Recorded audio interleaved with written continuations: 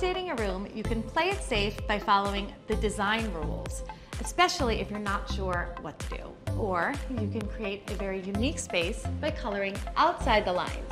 We show you which rules to follow, which rules to break, and still make your place look great on today's SoFlo Home Project.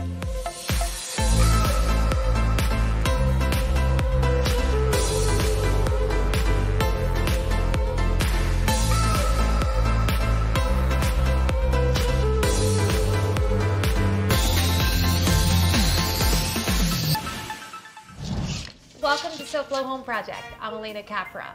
Measure twice and cut once is a great rule to follow. I often get asked design direction on a variety of projects, and I find it makes it a whole lot easier when you have a helpful set of guidelines to follow. Today, we'll discuss the proper height to hang everything from your light fixtures, how to calculate the amount of tile needed for flooring or backsplash, and an easy way to create a room floor plan, and much more. I feel like when it comes to interior design and decorating your home, there's a lot of rules that it's said that we can't do. And one of them might be mixing patterns when it comes to our pillows and upholstery and everything else that's going on in the room. So I think that is one rule that we can break. And I'm gonna show you one way that you can do that and how to do it. Most importantly, because this is a rule we're breaking, there still are gonna be a few things to follow to make it work. And what that is, First of all, when you're gonna mix your patterns, you wanna identify the type of look that you're going with. So for example, florals can either be more tropical in this case, and sometimes can also have a more feminine type of look in the decor. If you go with something like animal prints, might be a little bit more eclectic and fun. And then of course, some like clean line geometrics are great for modern looks. So there are a ton of patterns. I'm gonna show you two great looks of mixing patterns and then give you a few tips on how to do it on your own in your own home. So rich textures definitely work well in a coastal look because you want natural materials and rope and anything that makes you feel like you're at sea. All right, so we have our nautical or even coastal look. So I want to point out a couple of things that I did mixing some of these patterns because I also bought in textures, which definitely is an important point when you are breaking the design rules and mixing lots of patterns. So here I did a very fine stripe and of course this has pattern on pattern. So you've got a fine stripe background with an anchor pattern all over the front. I've got a textured striped pillow behind it. It's a wider stripe. And of course, I offset it with some tone-on-tone -tone textured pattern pillows. That definitely ties it in. And then on this side, of course, I also bought in a little bit of rope and a slightly wider stripe. Uh, another rule of thumb to think about is that when you are mixing your patterns, scale is really important. So I'm doing a uh, smaller scale stripe here, then I've got a larger scale here and then another smaller. So one way to think of it is a large print or pattern and then two smaller is great. And then also sometimes one large, one medium print, one smaller. Okay, so we did a nautical setup and now I thought it'd be fun to do something a little more tropical since we are in South Florida. And of course, I feel like tropical decor has definitely been trending, whether it be in textiles, wall coverings. So I got some tropical pillows and a few fun colors to show you. Okay, so here is our tropical look and a couple of quick pointers just if you're thinking about mixing your patterns up, mixing the textures. Here I used a couple of accessories to also ground some of the colors. So I introduced a little bit of the pink and the yellow in that print. So I bought it out here with some tabletop decor. Everything here is really saturated, it's really bold, it's really vibrant hues. So when you keep that all the same, it all works. If I threw a pastel pink in here, wouldn't work as well. So you wanna keep the colors all in the same hue and saturation. Coming up on SoFlo Home Project, when hanging decor items, scale and height go hand in hand. I'm Tackern with FHIA, and just like a lot of you, I recently had a horrible experience with a contractor. We're gonna learn about my experience on today's SoFlo Home Project.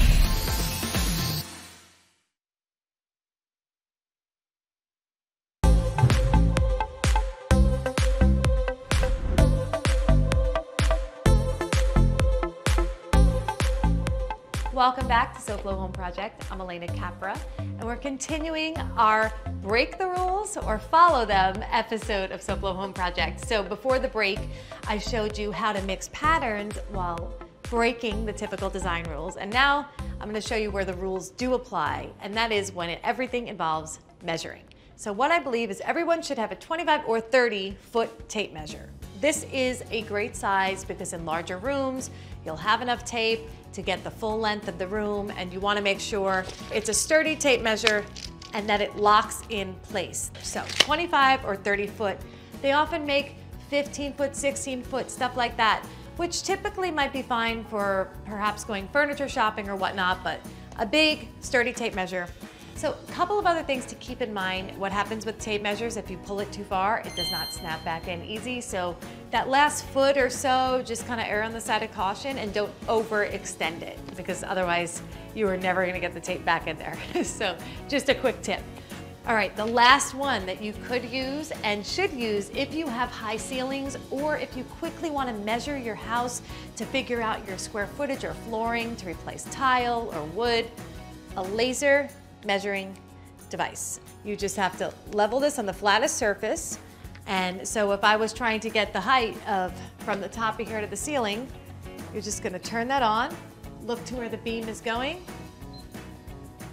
and it will read off the measurement. When you have those super high ceilings, you're gonna want this because realistically, it's hard to put a tape measure up 14, 15 feet and still read what it says, right? So this makes life so much easier and usually they'll have a piece on the back like this so you can get from the corner of a wall to the back. So this just goes flush on a 90 degree angle. So we've established the kind of tape measure you need, but what about changing out your light fixture? How are you gonna figure out the height it should be over the table? As a designer, that is one of the biggest questions that I get asked. So if you are hanging a light fixture over your dining table, a good range of height from the top of the table to the bottom of the fixture is typically anywhere from 30 to 36 inches. So here we are just about at 36, okay? So this is exactly the height you should be. And keep in mind, when you are hanging these fixtures over the table, you don't want the light in your line of sight, right? When you're dining, it should clear everything. If you have a tall family, you might go a little bit higher because when you're standing, you don't necessarily want this in your face when the light is on. So you kind of have to gauge it based on that and the type of fixture that you have. Some fixtures look better a little lower or a little higher. Another thing that I think is a question and a rule that we should follow is what size fixture do you choose for a certain room or over the dining table. One way is to measure the length and width of the room in feet. So say this was a 10 by 14 foot room. I'm at 24 feet and that is the inches of the estimated width of the fixture. And you know what, right here, it's just about 24 inches. So measuring is so important when it comes to getting that right height for your light fixture, especially in the dining room. And someone who knows a lot about measuring when it comes to windows and doors is Tak Granata from FHIA. Let's see what he has for us today. Add me to the list now of people that have had a bad experience, a horrible experience, and it's something that I would never think it would happen to me. The generator company went out of business on us in the middle of the process and took our down payment, and I put my confidence in the wrong company's hands, and now I feel like a lot of folks out there uh, where to go and what we should do. Wanted to get a generator for our house, so didn't think anything of it. My wife and I didn't want a lot of different contractors coming into the house exposing me and our family to a potential virus. So it was referred to by a worker of ours that's been a friend of mine for several years. So I said, just have them come out and we'll get it taken care of. The gentleman came out, didn't do any research on the company, just gave a down payment to get this generator done, and we got everything prepared for the generator to come in. We uh, went into a contract with the gas company to prepare all the lines for the house and, and spent a lot of money to get it all ran to the uh, right side of the house for the generator to be there. And the gas company tore up the yard, um, did everything that they could do, and they were just waiting on the generator company to close out the permit and get everything completed. And the generator company went out of business on us in the middle of the process and took our down payment, and we don't have anything completed. So we're left with a torn up yard, an open permit, and no generator, out money. So it's no different now than it has been before. We were always going to hear from friends and family that they have a contractor that they would recommend to us. But now more than ever, make sure you do your own homework and make sure you're going with a contractor that is reliable and financially stable to overcome some of the variables and the things that we can't control that are happening right now so that you are better protected in doing your home improvement project. Back to you, Alena. Thanks, Tak. Okay, you guys, so we've looked at dining room fixture heights, and I think that might be one of the most commonly asked questions when we're thinking about hanging a light fixture in our home. But I would say the second one is the kitchen island or peninsula in this case. So the same principles pretty much apply, but you have to think about your surface height. So on this, I would always measure from the top of the counter to the bottom of the fixture you're hanging. We have 36 here.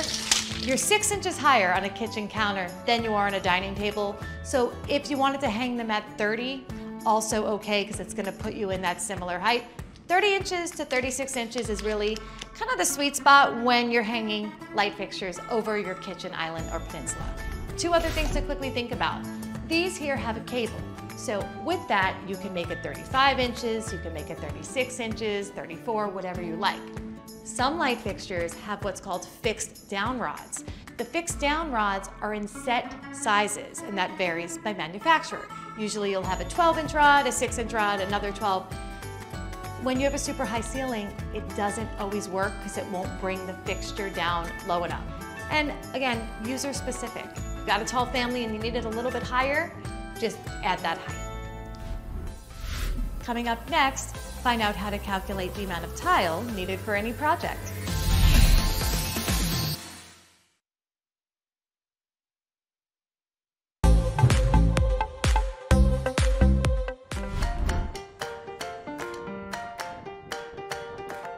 Juan with Ace Restoration Services. Today we're in a client's home who had suffered water damage in her bathroom. And she had called us initially because there was a drip that was occurring in her bathtub, which later caused a mold growth.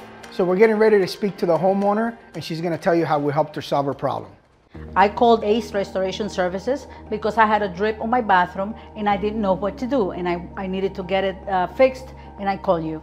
After I called, James Garcia showed up at my house and did an inspection and told me what needed to be done. Uh, the inspection was a free inspection. I didn't have to pay anything for it. He told me that he, there was a lot of hidden damage behind my bathroom wall after he did the inspection with his equipment. I was very much surprised because I would have never thought that I had so much hidden damage be behind my wall. Very much concerned because I'm allergic to mold and my husband had cancer and he was recuperating and I was very much concerned for his health and my health as well. So initially the water intrusion was caused by these pipes right here. And of course, uh, the water starts dripping, but these, uh, the drywall here acts like a sponge. And then what happens is the, the drywall absorbs the moisture and you can see how it starts debonding the tile here. Once we completed the remediation, you can see where all the studs are painted white. This is not just a regular paint. This is an encapsulant that we put to kind of protect the wood from further uh, mold damage. And of course you could see here where we capped off the, the pipes that were affected. So at the end of our remediation, our main goal is to pass the PRV. PRV is post-remediation verification. So in other words, when we're done with the remediation, we have to call the industrial hygienist, the mold assessor, to come out here again and do a mold assessment. And once we pass the PRV, they give us a certificate and kind of ensures that the impacted areas are no longer affected with mold, which of course then we can do the reconstruction and the homeowner can be brought whole and, and, and put their uh, bathroom to pre-loss condition. I'm very happy with the process of my claim. Everything is being taken care of by ACE and I didn't have to do anything because I work very hard and I don't have time to do all those things. I'm very surprised and pleased at the same time. So it's very important when you have a loss in your home that you give ACE Restoration Services a call first. It's important to call us before you call the insurance company. A lot of times there's stuff that is said to the insurance company that they will use against you and it's important that we come and we document the facts. That way they don't give you any resistance when it's time to bring your home to pre-loss condition. ACE Restoration Services, let us manage your damage.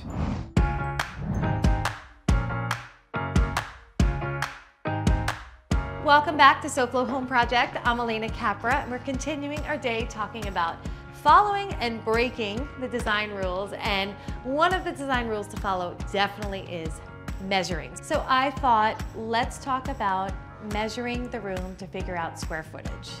Redoing the floors, whether it's wood or tile, I think it's great to always calculate and know what you need when you go shopping. It makes it much easier to set your budget earlier on in the project. So if you're trying to figure out square footage for say the entire first floor or your entire condo, what you're gonna do is you're gonna go room by room and you break it out into almost shapes. So you would draw out your dining room, your hallway would be a rectangle. I'm gonna get the length, I'm gonna get the width of this space, and in inches, the best formula for that is length times width in inches and divide it by 144. That gives you your square footage. Or if you wanna do it simpler, you do it in feet. So say the room is 10 feet by 10 feet, that's 100 square feet. There's no division needed, you're just multiplying. So this way, this chunk of flooring, I know the square footage. Then I will move on to the hallway that's after this, measure out that length times width. So you wanna break it out by whole shapes, squares or rectangles throughout the space, and then you add them all up. And now when you are calculating your square footage, whether if it's for tile or flooring, you always want to add a little bit of waste if you're buying your own materials. So you'll add 10 to 15% waste based on the pattern. That gives your installer plenty of room for cuts to make sure you have enough tile or wood product. So now that we've established how to do square footage calculations for your flooring, another common area where we need to calculate square footage is to price a new backsplash tile. And again, that's gonna be the same principle, just really simple. You're gonna measure the height of your backsplash times the width. I always find it's easier to break it out by sections and in shapes. This way you get the most accurate square footage calculation. Next, on SoFlo Home Projects, learn how to properly plan the layout of any room.